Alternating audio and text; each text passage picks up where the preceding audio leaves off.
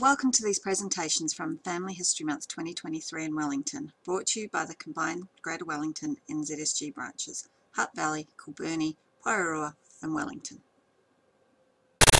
Nau mai, haere mai, and welcome to the first of four presentations for Family History Month that are being put on by the combined Greater Wellington branches of the New Zealand Society of Genealogists.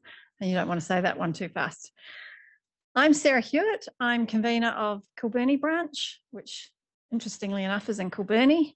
I'm also chair of the New Zealand Society of Genealogists. So tonight I'm going to be speaking on starting your genealogical journey. When I was, well, much younger than I am now, my grandfather, over there with his fish, used to tell me some of the stories about his family. And one of them that he told me was about his grandfather, my great great grandfather, Robert William Black how he was the first man to import Panama hats into New Zealand.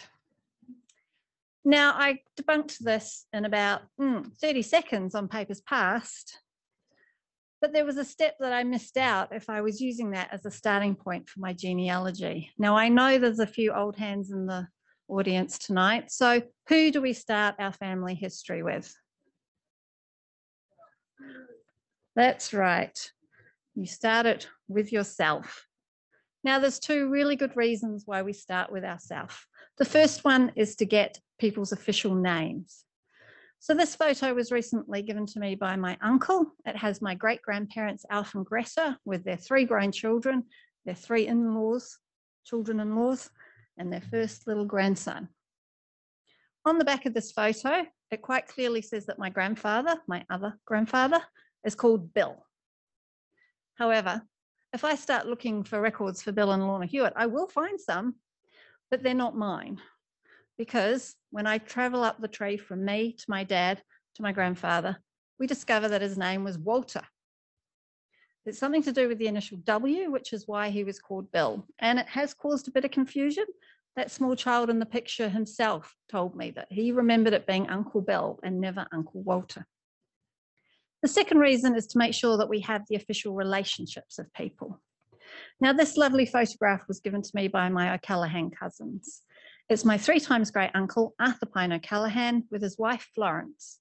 It's believed to be taken on their 50th wedding anniversary. However, if you take this as a starting point and think that Arthur and Florence are your ancestors, you might go astray because while she died tragically young, Arthur's first wife, Dorothea, managed to have three children before she died, all of whom grew to adulthood and all of whom had children of their own.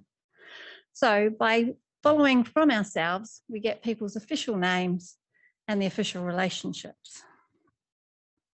And that's why we need to start with ourselves. And it's pretty simple.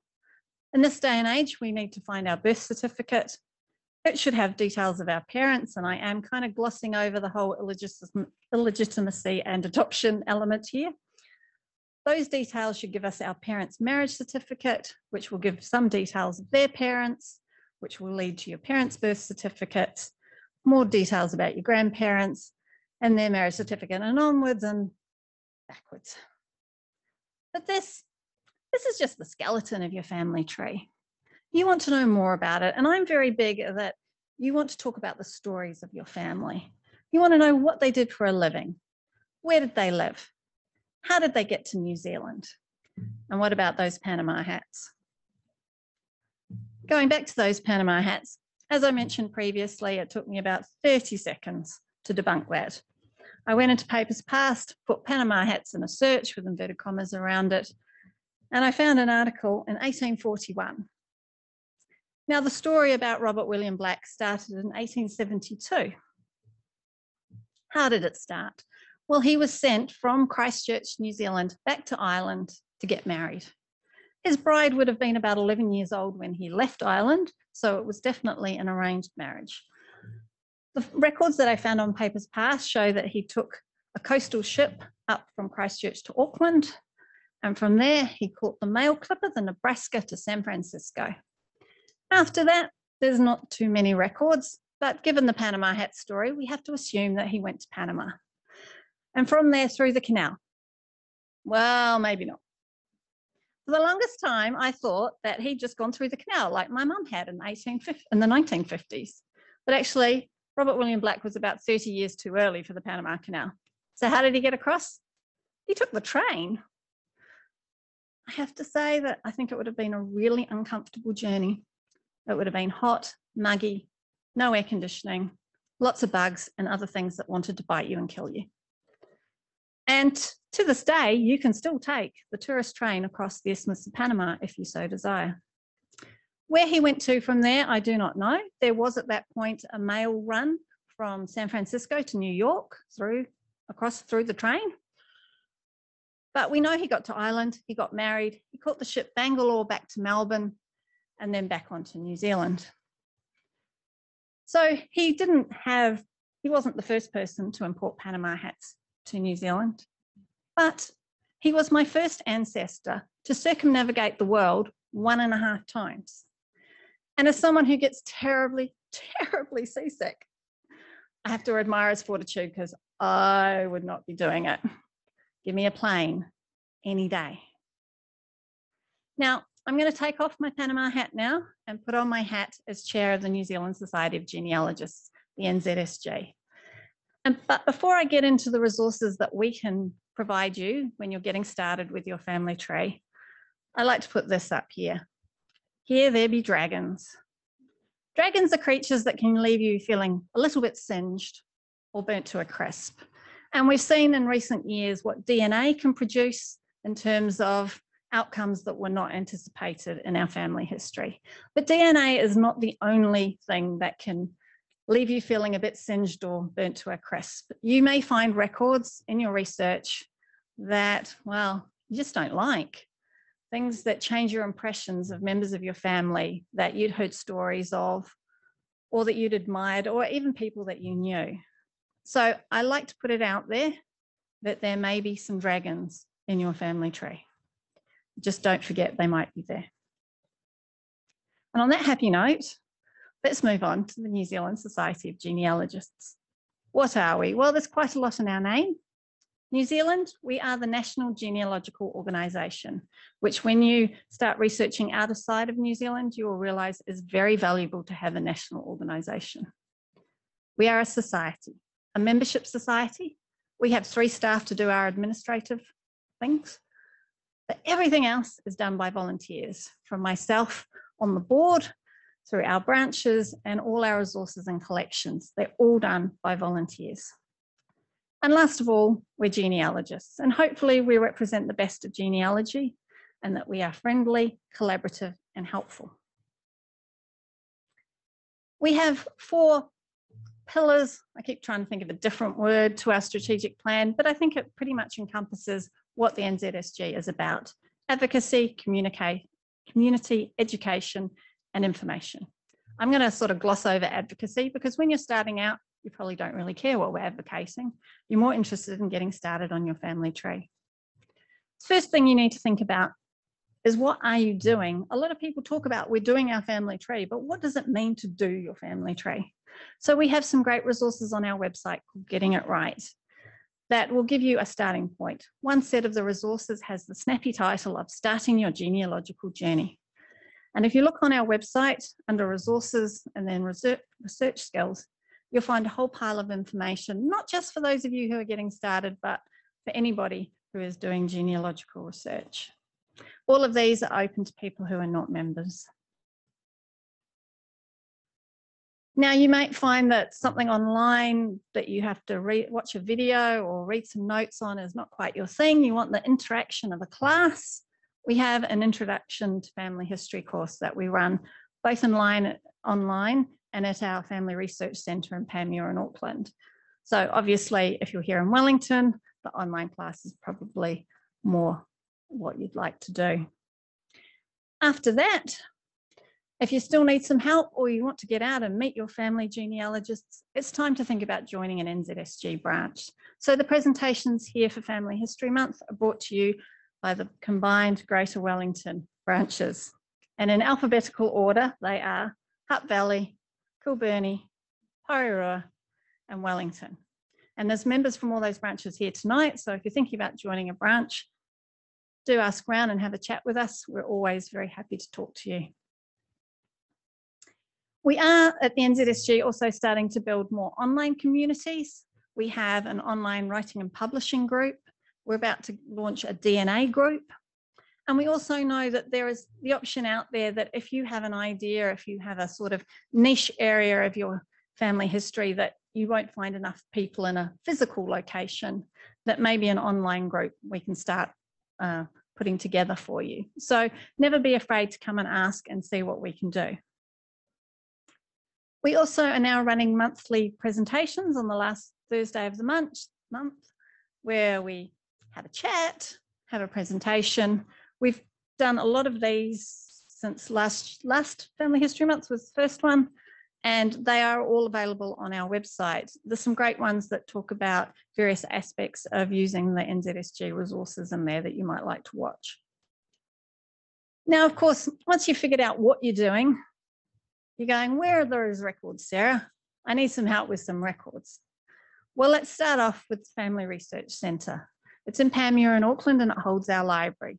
The library contains about 62,000 items. A large number of them are books, but there are also various databases on CD-ROMs. We also have access to all the library editions of various uh, commercial websites and of course, the big question I always get asked, but it's in Auckland, Sarah. Well, actually, it's just an email away. We have a great team of volunteers up at the FRC who answer your research questions. And so by getting in touch with research services, you'll appreciate that the FRC is not just for Aucklanders and they can look up anything that we have in the FRC. You might want to check whether a book you want to borrow has actually got your family in it before you fork out for the postage they can go and check for you. And because it's a person on the other end of it, you might get that value add advice of, well, have you thought of looking here or there? Or we have these records, have you looked at those yet? So research services is a great way to get help from your, for your family tree. And if you want to find out what we have in the library, then you need to talk to the library cat, a log. Our library cat has her own web page where she highlights some of the collections of different books with a theme that we have in the library. But the catalogue is open to everybody. You don't need to be a member to have a look. And it covers a huge array of resources. We are not just New Zealand focused in the library. We have the library of our English interest group and our Scottish interest group, although you need to be a member of the Scottish one to borrow their books but there is a wide variety of books. And in fact, I was looking the other night to see what they might have on China, and we do actually have quite a few things on China. So you never know what you're going to find until you go looking. A really sort of random question that I sent up to research services was a couple of years back when I was going to go to the Auckland Expo. It's in the Fickling Centre, and this is what it looks like on a rainy day. I'm hoping it's not going to be rainy this year. I sent an email up to them and said, who's Fickling? Because the Fickling Centre is not in the suburb of Fickling, it's in the suburb of Three Kings. And I didn't think he was one of the Three Kings. I got a response back. They sent me a biography of Richard Noel Fickling and a lovely picture. And I have to say, when I walked into the Fickling Centre, that picture is in a huge gilded frame in the foyer. So I knew I was in the right place. The other thing that we've recently added to our website for members is an introductory guide to doing research outside of New Zealand. So while we're building on this collection, we've started off with the British Isles and Australia, and we also have some resources from our European interest group. We hope to build on this and build it out into further countries as people who have the research experience in those areas come forward and say, yes, Sarah, I can write those resources for you. But if you're starting your research outside of New Zealand, they're a really good place to go and look and see what's available to you. But we're not reinventing the wheel, so they are just a, a starting out guide. Now let's get on to the records that the NZSG has been collecting. We've been collecting since 1967 and we have quite a lot of them. The first one is first families. These are people that arrived in New Zealand before 1902. And this is an example of a very old first family sheet. I inherited this from my gran. She died in 1982. So what's fascinating is that uh, my cousin who filled this form in and submitted it to the NZSG, she lives down in Christchurch. And when I'm down there, we stop for a cheese scone at the cafe at Turanga. They're very good cheese scones. So the advantage of some of these, while they might be quite old, is that they may be a generation or two closer to the source material than you are. We have a pedigree collection, which is aimed at putting you in touch with people that are searching the same names. We have a certificates collection. These have been contributed by members, so it's a rather ad hoc collection. We have approximately 130,000 of them, and recently we started a mail email service for them. Since February, when we started this service, we're guessing our members have saved about $50,000 on being able to access certificates through the certificates collection. So it's a great resource if your family's in there. We also collect pre 1856 marriages because that's when the recording of marriages became compulsory in New Zealand. We have a database on illegitimacies.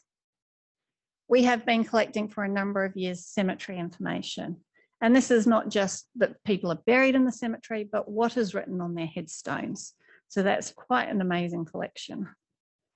We collect obituaries from newspapers and school records. School records are just wonderful things because if you know the name and the birth date of a child, then you can figure out where they were if we've managed to lay our hands on their school record and transcribed it for you.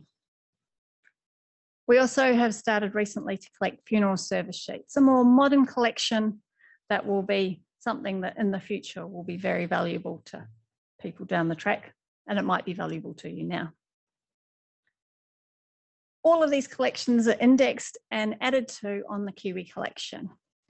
This is now online. We used to do it on CD and then on USB stick. And two years ago, we got it up online. The great thing about it being online is that we're able to update it and we update it twice a year. And it has 14 million records on it as the update last month. And they cover all sorts of things. Some of them are national collections where the records are covering the whole of New Zealand and others are niche to a particular area or a particular occupation. But of course, it's one of those things you don't know what you're going to find until you go looking, and there are some amazing things in there. As part of the last update, we started to put tiered access into it. So we've put uh, we've allowed public access. So if you're not a member of the NZSG, you can access 1.4 million records. Now, these are all records that are publicly available somewhere else, but they're being pulled together so you know that they exist. Our members can access 3.5 million of them. And if you subscribe, you can access all 14 million. The subscription income is a very valuable source of income to our society. So I'm just going to give you a little example of what the different tiers are currently looking like. So remember Robert William Black, he went to Ireland. Well, this is his bride, Emily. When we look at what's available on the Kiwi collection for her, searching for Emily K, because sometimes the Kinley's in there and sometimes not. And there's a lot of Emily Blacks out there. So we can crawl through those at another time. But on the public access side, you can see that she signed the 1893 suffrage petition and that she died and left a probate. If we get into the membership access, the membership access includes our cemeteries collection. And we're hoping with our next update in December to add the images of our cemeteries collection to the Kiwi collection.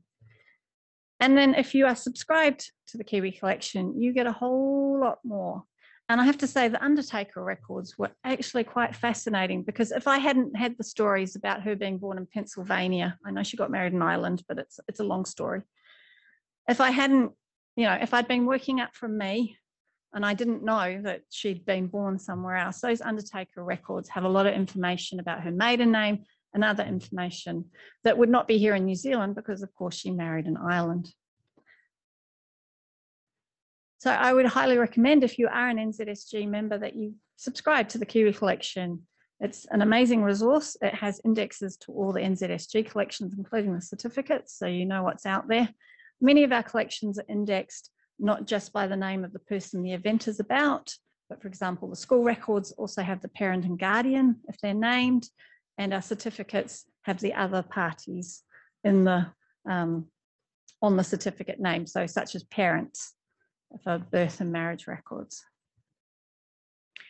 And the last thing I would like to promote is the New Zealand Genealogist. This is our quarterly journal and it is an amazing read. each quarter. Our members contribute really great stories about their families. You might learn something new. You might discover a member of the family in it. And when I've been privileged enough to be uh, printed in the genealogist, I always find someone gets in touch, whether it's to say, hey, I recognize that photo, that's a member of my family too. Or when I mentioned my great uncle, someone wrote me a beautiful email saying that they knew him and told me all about what it was like working with him. So it's another way to also reach out and find other family members. So to sum up, I've managed to get through this presentation remarkably fast. The four key pillars of the NZSG are advocacy, community, education, and information. And we have a lot of all of those. And I hope you will, if you want more information, you can have a look on our website. On our website, under the monthly presentations, there is one on our website, which gives you an indication of what you can see as a non-member and what you can see that's a lot more if you are a member. But there's a huge amount of information in there. And I'd like to do a quick promotion for the rest of Family History Month here in Wellington. So next week we are having a presentation on DNA. The following week we are looking at the Wellington City Library's family history resources. And on the 22nd, we will have Papers Past and Digital NZ, both of which are really useful resources for your family history. Now, for those of you that are online or those in the audience who may be travelling in the next month, there are other events around the country. There's an expo in Auckland and another expo in Christchurch. I know in Wanganui they're planning a historical pub crawl, and I'm kind of wishing I could get to that one. But there are events happening all over the country. And so if you happen to be in the vicinity on the day, do come along and join in. They're all on our website, both under the events calendar and the Family History Month page. Are there any questions?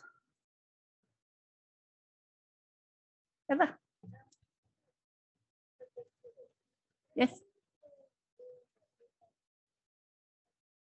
So we, we collect them out of the newspapers, whether or not we have them all and where they're at to in terms of transcribing them and making them available back to members is always a question mark. But yes, we do collect them out of the newspapers. Uh, excuse me, Sarah, could anybody who is asking a question in the auditorium please use the microphone?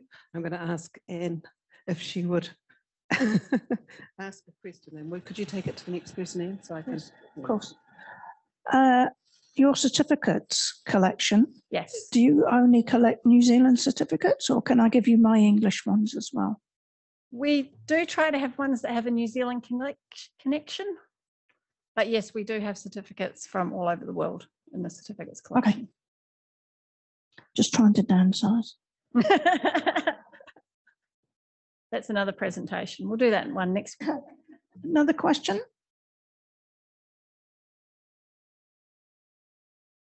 Oh no, stunned into silence and I'm so fast.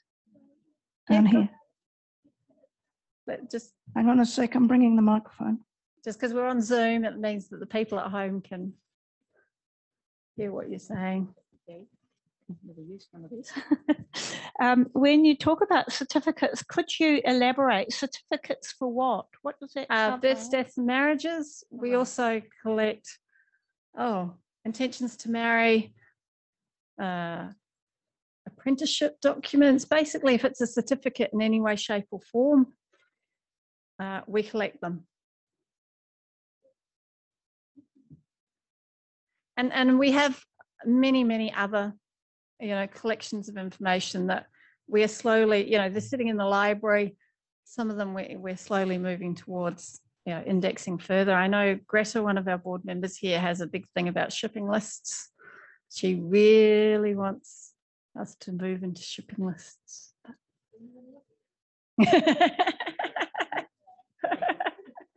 Sarah, I have an online question, and if anyone online can hear me, which I hope they can, um, we will also encourage people to add to the Q and A uh, online for further questions.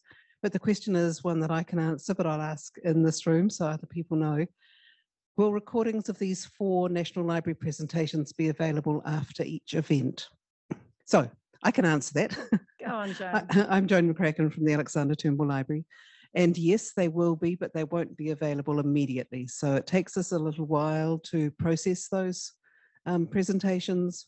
They all have to be transcribed uh, before they can go up on a government website. So yes, but not yet. Thank you, Joan. Anything else coming through in the Q and A up there? Any other questions from the floor? Up the back there? If you find something that's grossly in error, like passenger lists in papers past, how do you get it corrected?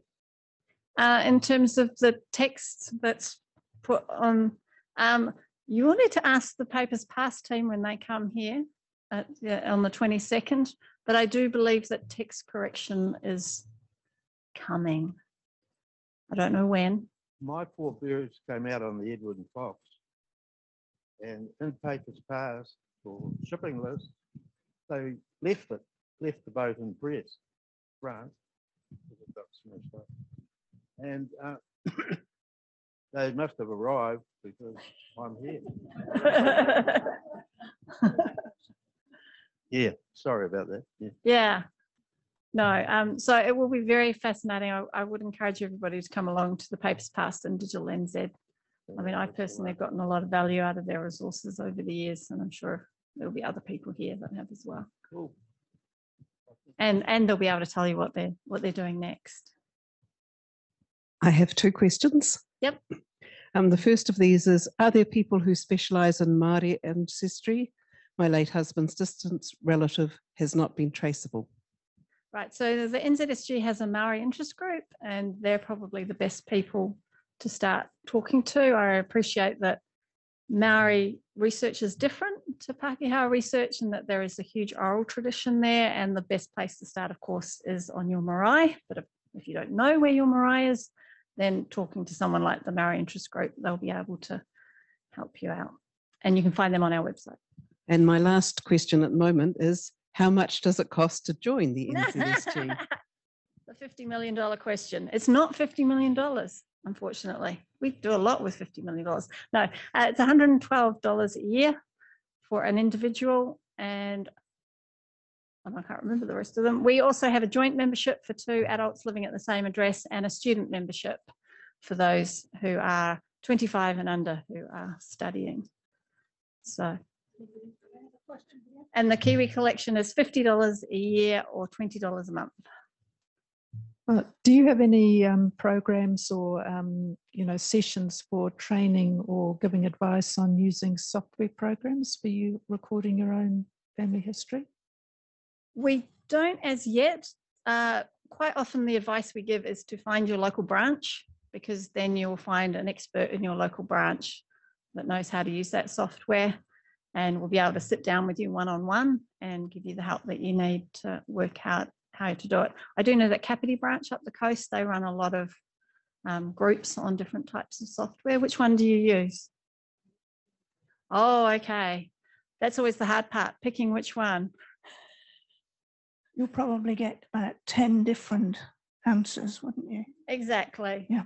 Um, I, I like to liken it to religion, but other people have suggested children that, you know, everybody uh, likes their own best. Um, and so it is really a case of software of, of just trying them out and seeing if that's the way your head works for putting the information in. And if you don't like it, moving on to the next one and, and seeing there's a lot of free versions or trial versions out there to give you that chance to try them out. The trick is to find one that uses GED match, G E D match. No, No, GEDCOM. not GEDCOM, sorry, GEDCOM, not GED match. Thinking DNA, DNA, GEDCOM, Yeah, because I- then whatever you've typed in, you can transfer to something else if you don't like the one you're using. mm. it is the whole the whole keeping yourself organized thing is is really down to yourself and you know everybody's life experiences shape how they keep themselves organized. You know if you've been in a work environment where things are done in a certain way then you might transfer that to your genealogy.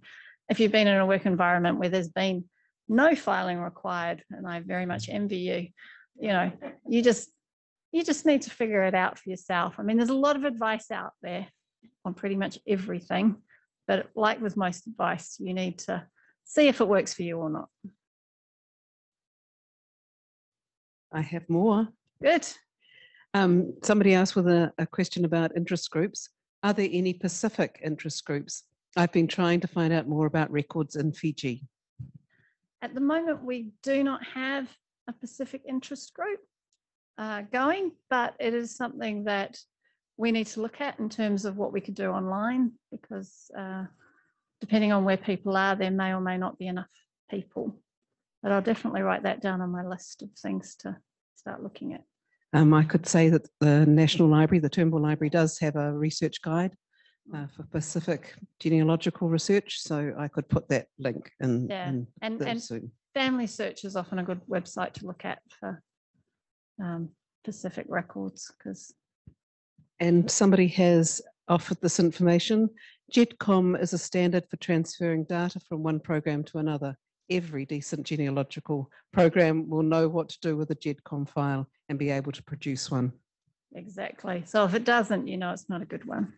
And on, on Wik, if you, if you Google genealogy programs, Wikipedia, Wikipedia have a really good list of ones and the different operating systems, because of course, one of the things these days is that, you know, you have your laptop or your desktop computer that's Windows and your iPad and your Android phone.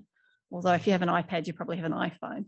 But, you know, it's transferring the information between those various things so you have it to hand. Because it's always a good idea to have your family tree to hand. I know i sit in our presentations and people start talking about things and i go oh they in my tree. Get out my phone. Have a quick look. Go yes or no. So yeah because you never know when you might run into somebody you're related to While Anne is going to another question, I've got one last one. Do you recommend being a member of Ancestry as well, or is this duplication of information? I don't want to get myself in trouble with ancestry. But when you're starting out in New Zealand, you really don't need to belong to any of the commercial subscription websites because the records that they have are relatively few to what you're starting out. You're going to be buying certificates because that's, we don't have, civil registration has been for most of the time that we've, Pakeha have been in New Zealand. So you're going to be paying the DIA or if you've got it on our collection, getting it for free as a member. Ancestry do have electoral rolls and street directories, which are very, very useful. But unless you're researching other areas, it might be just easier to come into places like the National Library that have Ancestry to look at those. Once you get outside of New Zealand, then you need to see what the site you're about to subscribe to has in the way of records that you need. Um, I, I found it quite interesting when I was getting to some of my DNA and tracking a branch down to Devon that on Ancestry, all these trees ran out about 1800 because that's when census information stopped. Because at that point, all the records for Devon were on Find My Past and people had picked Ancestry over that one to subscribe to. So it's really very much a case of doing your research and checking that the records you want are on the database that you're paying for. But here in New Zealand, there's a lot of records that are, are- not on Ancestry and we hold a lot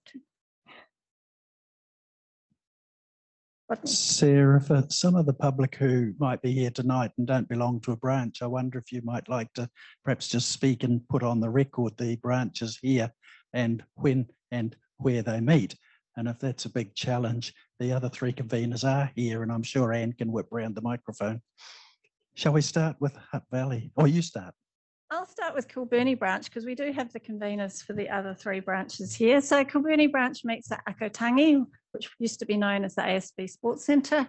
We meet on the first Thursday of the month. Our doors open at nine AM and our meeting starts at ten. So we have a speaker each time and access to our resources, which is our library.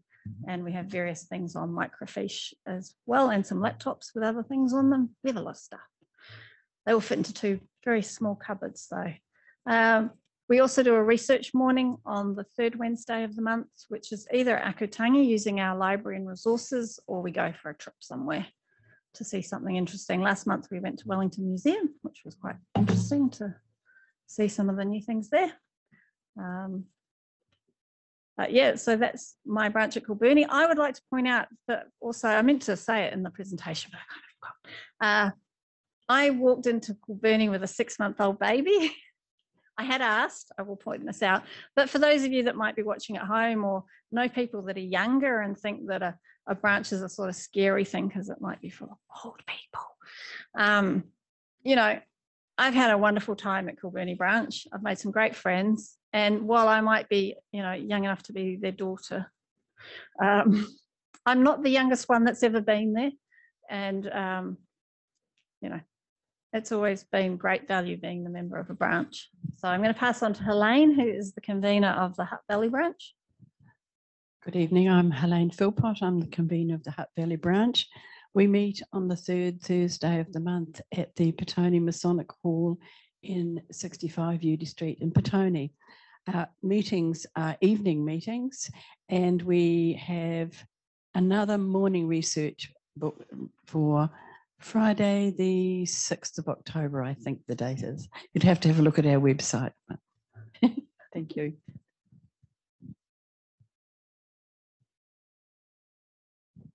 Hello, I'm Pat Liddell. I'm the convener of the Porirua branch.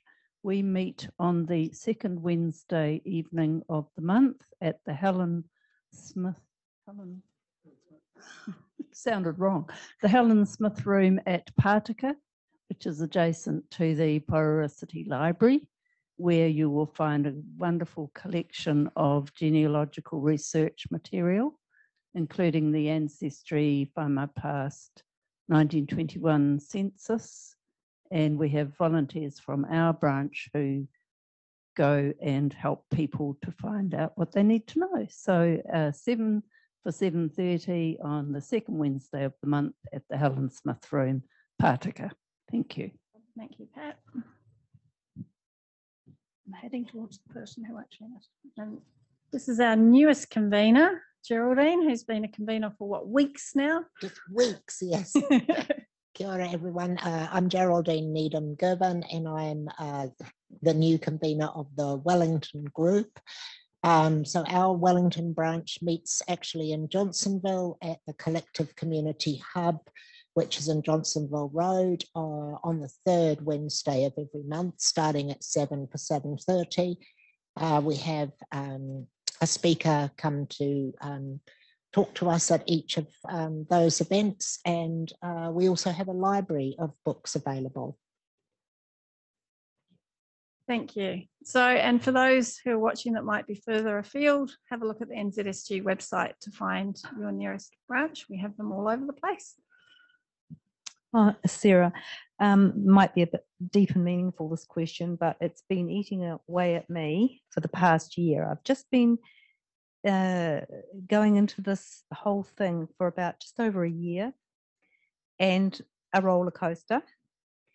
And now I'm starting to think I'm going to have, I'm going to enter all this data. I've found out an awful lot about a whole lot of branches and I'm still entering data.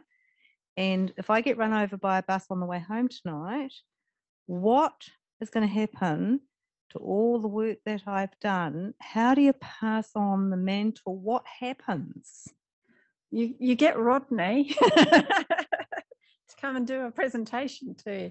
So, I mean, my personal view is that the best thing you can leave is a well-sourced GEDCOM, which is a file out of a family history program that points people to where you know you found the information that has made up your family tree.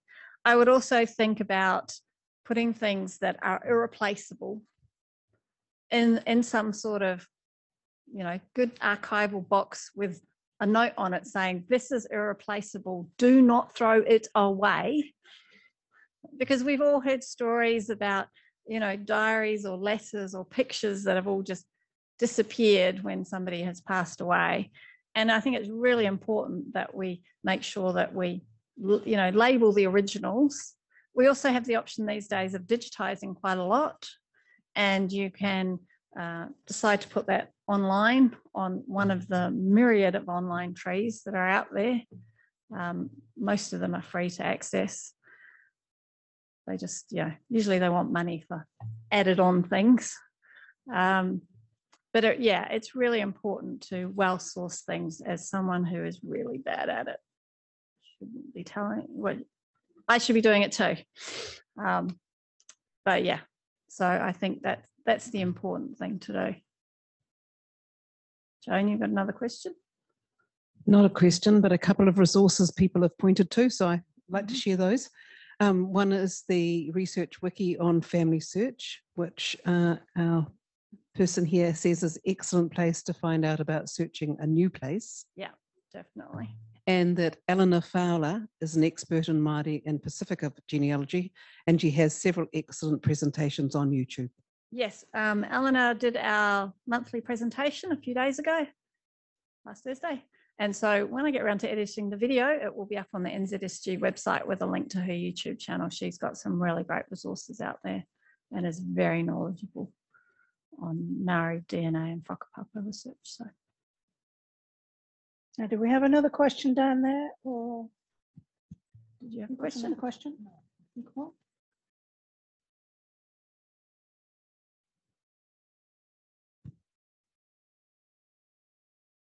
No, have we run out of questions?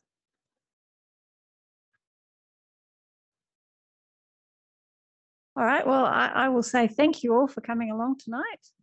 It's been great for you all to come out on a Tuesday evening when the weather forecast was looking a bit dodgy. And uh, I also like to say a big thank you to the National Library for hosting us over Family History Month. The auditorium is a beautiful space and we're very grateful to have access to it. I'll just put back up on the screen the slide of the other presentations that we're having this month, and I hope to see you all there. Thank you for joining us. If you'd like to find out more information about the New Zealand Society of Genealogists or our many branches around the country, please see our website www.genealogy.org.nz.